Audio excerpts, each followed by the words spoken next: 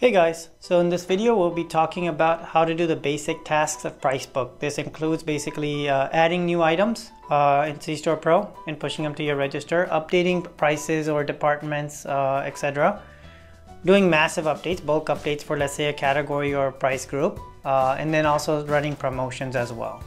So in order to do this, obviously you have to have communication established to your uh, point of sale system. So be sure to watch the video prior to this one uh, on getting that set up before you move forward. So the first thing we'll, walk, we'll talk about is how to add items uh, in your point of sale system. So if you go to Pricebook, items, you'll be able to see basically all the items that are currently in your system. Now, when you do this, the initial load obviously only loads the top 50. If you want to search for all of them, you can just do search and you'll find all the items in your store um, and it'll tell you how many total items you have in your price book right now. If you don't have any items at all, you'll just see a screen that says there's no items right now. You want to add a new item, so you're going to have to click on that add button to add the new item. So now to add an item to your store, you simply click on this little plus icon here on the right. And if you have a 2D barcode scanner, you can enter in the barcode, uh, scan the barcode, or if you, you know, want to manually enter it in, you just manually enter it in. Now, regardless of if it's a short code or long code, UPCA or UPCE, you always want to enter in everything that you see. So that includes the leading number as well as the last number at the end. Uh, and then you do a find, right? So now you, when you do a find, the system will tell you that, hey, this item doesn't exist in your store. But you notice that C-Store Pro actually picked up the description automatically.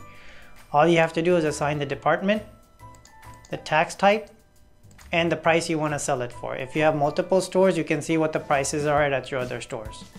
You can also assign it to a price group, or if you don't see the group on here, you can add a new group. Uh, size group, you can make it food stampable or non-food stampable. You can apply age restriction to it, as well as assign a primary vendor, enter in the cost, etc. for this item. And then if you want to add more items, if you click over here, and you say add item, it will basically prompt the screen again where you can just continuously scan and add the item. If you keep this unchecked and you do just add item, it'll go ahead and just add this item to your database. So we just want to do add item.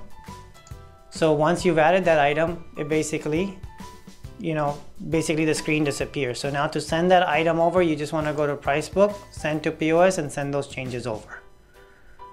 Um, if you have modifiers, let's say you have a one pack you know individual base item uh, and then you have a two pack deal or a six pack deal and you want to add modifiers.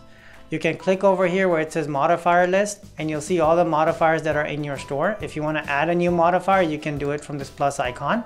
And again just scan the barcode and enter in the modifier. Now when you try to do an item that doesn't exist the system will tell you that hey you need to create a base item for this first. So be sure to create the base item before you do the modifiers um, there's also another way to do these modifiers. So when you're on the item list, if you find a particular item that you want to do a modifier for, when you scroll over to the right, you have this little plus icon where you can apply a modifier, where you can enter in the modifier count, enter in the size group, you know, all this stuff, the price group and all that stuff you can apply here as well and just add it into your database. And then again, once again, just send it to the register when you're done. If you want to do bulk updates, let's say you have a bunch of cigarettes that are changing in your store, you can always click on price book and there's an option to do bulk update. So when you're doing bulk updates, you can find items by price groups or all these search criteria. So for example, let's say I want to find all the items in my store that have the word Marlboro. So I'll just do M-A-R-L and search and I'll find all the Marlboros in my store. Now let's say I want to increase my prices by 10 cents for every single Marlboro brand in my store.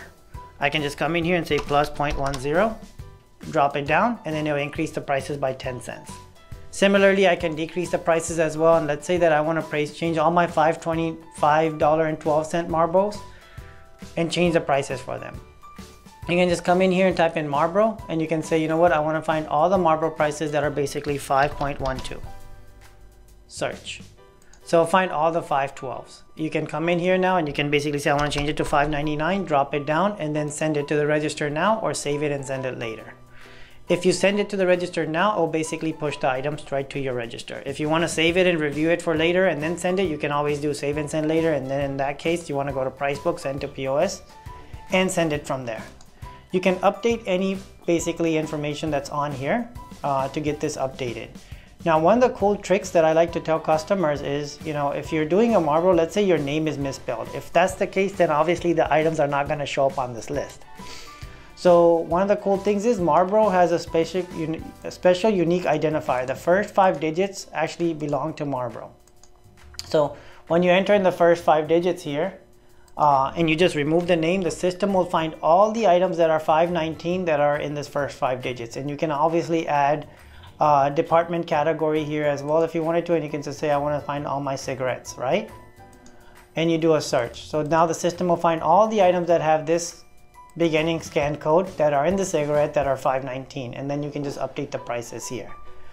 So it's pretty much that simple. Uh, there's no rocket science required for this part of it. Now let's talk about the promotions. When you have deals running that are going to be set to expire at a given time. For those promotions you want to just go to Pricebook and promotions. Now you have all these promotions running. If you want to add a new promotion, you just click on this little plus icon here to add a promotion. You give it a name. Let's say I give it just test. How much this promotion is going to sell for. So whether it's two for $3 or five for $7, anything like that, you want to just enter in the value here. That's going to be for $7. And if it's a mix and match or a combo. Then you give it, you can either create a new list or if you have an existing list on file, you can just open up that list, right? And all the items will show up. Uh, if you want to create a new list, I can just come in here and I can say I want to just start a new list. And uh, let's say, for example, I just go back and I say I want to create a new list. I can obviously uh, enter in a new name here. I can remove all from this list. I can enter in a new name, test. Again, I can just do the scan code. Let's say I want to run it for my marbles and I want to find all my 519s or 512 it was. I do a search, it'll find me all of the 512 marbles and I can just add all of them to my database. And then I click next. Over here, I'll specify when I want to start this promotion so you can schedule it for next month and when I want to end this promotion so you can end it at the end of next month or however long you want to keep it. If it's a never-ending promotion, uh, such as just a deal, you can obviously just change the year to like 2027 or something like that. And then how many the customer needs to buy to get this deal. So whether it's two for three or five for seven, if it's five for seven, you enter in they want to buy five from this item to get that deal. Then you just hit finish and the screen will disappear. So then you just go to price book, send to POS and send the changes over. So that's how you do promotions. Now let's talk about managing your price book, price groups. So you can come into Pricebook price groups and you can basically manage your price groups from here. If you want to add a new price group, you can add it over here, give it the name. So be sure to add all your price groups before you decide to add in all the items to that group.